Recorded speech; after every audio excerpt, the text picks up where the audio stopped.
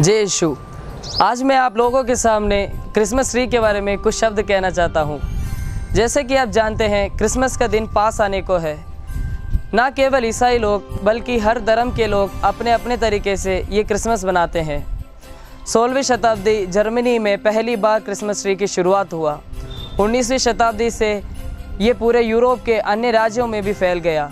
बिजली के आविष्कार ने इसे इतना मशहूर बनाया।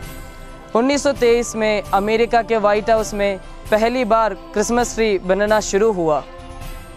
क्रिसमस पेड़ एक सिर्फ़ केवल सजावट की चीज़ नहीं है, यह खुशी और उल्लास है।